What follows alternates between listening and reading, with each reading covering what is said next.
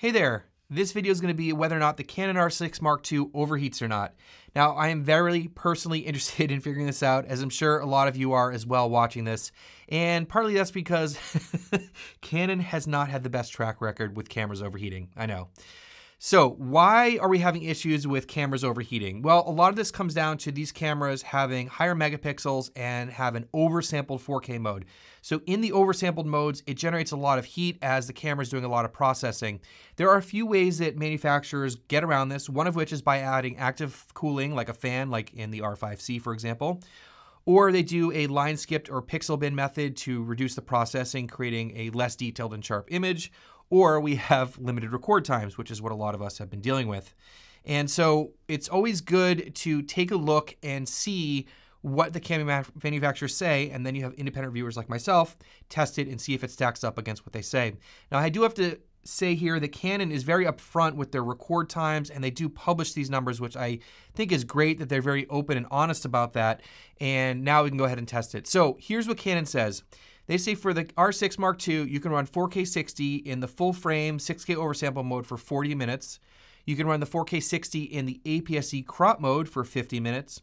You can run 4K 24 or 30 frames per second in the full frame 6K oversample mode with no limit in heating, which is great, it won't overheat. And then lastly, in 1080p 180 frames per second in full frame mode, you can get 60 minutes or longer. Now, I tested all of these except for the 1080p 180 because I don't know who would be shooting 1080p 180 frames per second for a long period of time but uh, it, could be something you want to test. I also am always curious about how a lot of these uh, cameras get their 1080p image if it is an oversample or if it's some sort of other method to get from the 6K down to 1080p. I'm not really sure. Now, I have to say that I did do a first impressions video. If you haven't checked that out, please check it out. I got some great footage. I was really happy with the image that came out of the camera and the autofocus and everything. I was out shooting. Uh, it was probably around 55, 60 degrees Fahrenheit that day and sunny.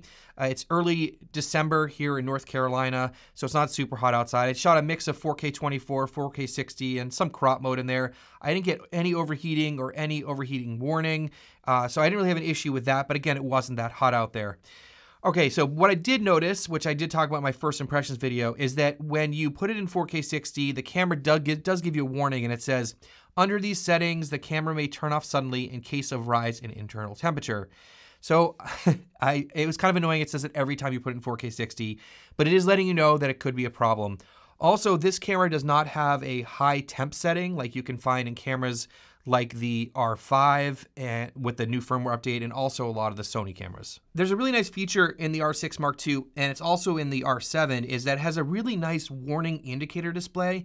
And this is really helpful because as the camera starts to warm up, it will show you how warm it's getting from 0 to 10 bars. I really think this is great because you can really see how far you are along and you know how long it's going to be till it overheats.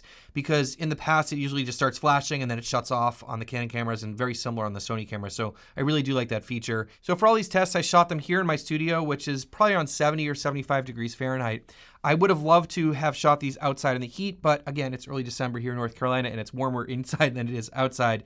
So for all these tests, I had the autofocus on, the auto white balance, trying to give the camera as much work as possible. I shot it in C-Log 3 in 4K IPB.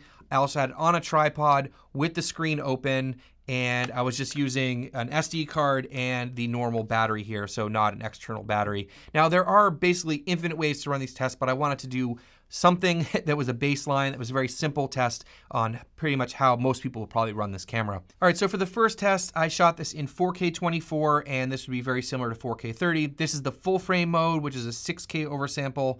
And as I ran this test, it just ran and ran and ran until the battery died at 2 hours and 17 minutes. I didn't get any overheat warning, and the camera really didn't feel hot when I was done. So it's safe to say that I don't think overheating is an issue in 4K 24 or 4K 30, just as Canon stated. Now onto 4K 60, and there's two different ways I tested this. One was the full frame mode, which is the 6K oversample. And so when I did this, it ran until 43 minutes and then it overheated. But I was surprised that when it did overheat, the camera wasn't super, super warm. So maybe it was being a little conservative, I don't know. But either way, Canon stated 40 minutes. I got 43 minutes. So again, pretty accurate for what they stated. And the last test I did was 4K 60 in the crop mode. It is the APS-C crop mode. It ran for an hour and two minutes until the camera overheated. And again, it was warm, but it wasn't super hot. It wasn't gonna like burn my hands or anything. And this is against the 50 minutes that Canon stated. So again, coming in right as they stated. All right, so the results that I got really were pretty close to what Canon has stated. And for me personally, the biggest thing is 4K 24, 4K 30 not overheating because for me, the long run times are going to be in 4K 24, and that makes this a very viable video camera for me. Also, there's no 30 minute record limits as there was in the R5 and the R6 uh, version 1. Now, overheating in 4K 60 can be an issue for some people. Now, for me personally, I don't do long record times in 4K 60. For me, it's, you know, getting a few B-roll clips or shooting wildlife, things like that. But I do know you know, I have friends that do wedding videography that shoot the whole wedding in 4K 60 in the summer, so that might be a problem for them. But keep in mind that the R6 Mark II is a hybrid camera. This is not a dedicated video camera, and it does have great video specs, but there's always trade offs when you have cameras that do multiple things. So, again, for me, I'm really happy to see the 4K 24 didn't overheat. Now, there's been a lot of discussion out there about whether or not they could have fixed the original Canon R6 overheating problem with a firmware update because they did that with the R5, and that's a fair question. But I just don't know the answer, and I'm not an engineer, and I've never used the original R6. But what I do know is that with that new firmware update on the R5, when you ran the camera for a long period of time, the camera got super hot to the touch. Like it was very hot. And so I think now the fact that I ran this camera for over two hours in 4K 24 and it wasn't super, super hot, like it was warm, but it wasn't gonna like burn your hand or anything, I have to think that there's something different in terms of the hardware, if it's the sensor, the processor, heat sinks, those sorts of things. But again, 4K 24 doesn't overheat, makes me really happy. So how does the R6 Mark II compare with the other Canon cameras out there right now in terms of overheating and runtimes? Now I tested these cameras in the studio here in a very similar setting and I'll leave links to those videos down below if you want to check them out. So what you saw in this video was the R6 Mark II will run until the battery dies, 2 hours and 17 minutes with no overheat warning and the camera wasn't very warm. Now the R5 after the latest firmware update ran for an hour and 40 minutes and the, the battery died. It didn't overheat but the camera was super warm. And then I also tested the R7, which ran for two hours and 15 minutes when the battery died. But in that situation, I did get three bars out of the 10 bars for the overheat warning. So pretty similar here in a studio setting, all these cameras will run until the battery dies.